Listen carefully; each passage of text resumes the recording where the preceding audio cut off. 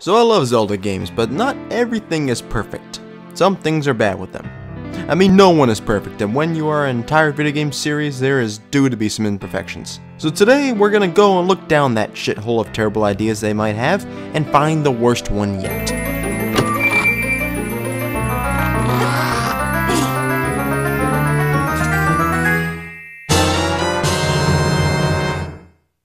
Man, this place is awful. If you want to have a miserable time, you are in luck.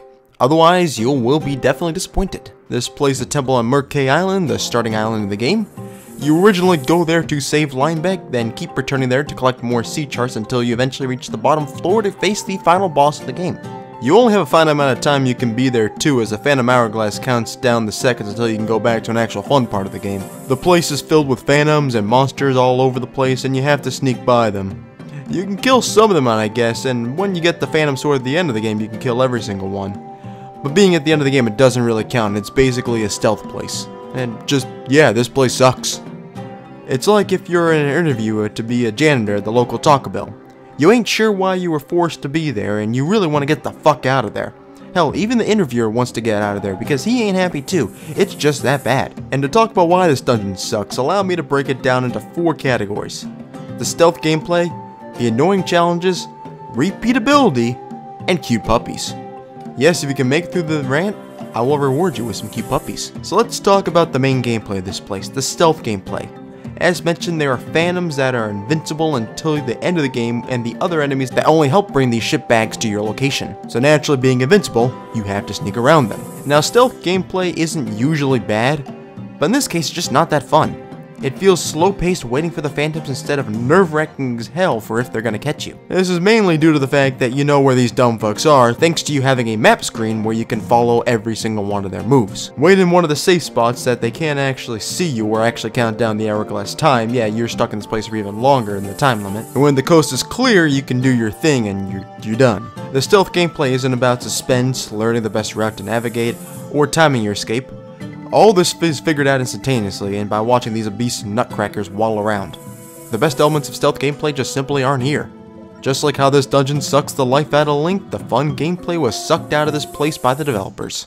You guys might also be wondering why the footage is pretty much just the first floor and nothing else. Well check this out!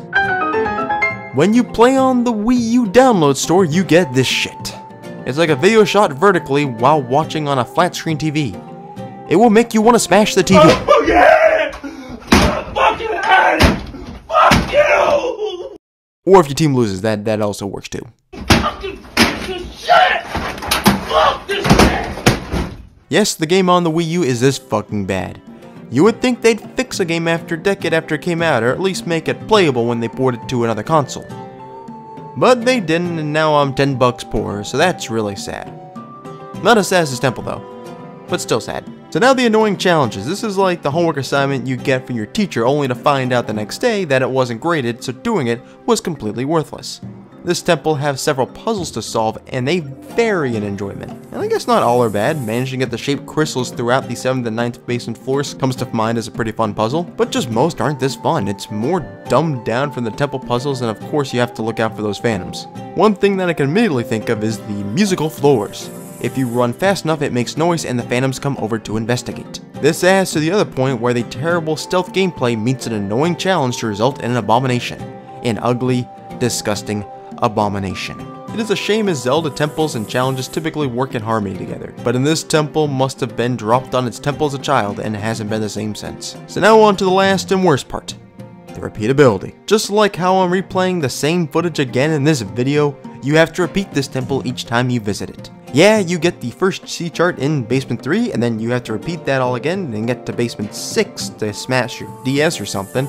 And then you have to repeat that all again to get the sea chart at the bottom of basement 9. They do have a checkpoint in basement 6 that you can activate when you're trying to get that third sea chart, and they also give newer items you get throughout the game that make these puzzles easier. But this can't salvage this dumb of an idea. It's like doing the same problem again and again and again for your math assignment. It's getting too ingrained in your head and it becomes just plain torture. Look, I don't want to get raped in the ass only to have to get raped in the ass again to then have a dick shoved down my throat. I don't want to do any of this stuff, let alone have to repeat any of it. I honestly don't know why they kept this in the game. It's one of the most blatant things they removed when they switched over to Spirit Tracks and had the Spear Tower dungeon. If there's a psychic out there and can read the developers' minds back when they were making the game in 2006 or something, and figure out what they were thinking about this mechanic, I'd love to hear it. But alas, like changing a baby's diaper, you just have to deal with this shit. So yes, the Ocean Temple was bad, which is a shame as Phantom Hourglass was actually a pretty good game. Maybe it's not as good as the other Zelda games, the controls are pretty atrocious, but compared to most games, it's pretty fun. I also promised a cute puppy, so that's the footage you're seeing right now, as I certainly out of footage of the Ocean Temple at this point. And I would say it's nice to end on a high note with the puppies. It at least puts a little charm to the end of this video. A very depressing video of a very depressing dungeon. Having to replay this game is like sinking to the bottom of the ocean. You just know the eventual doom is coming every single time.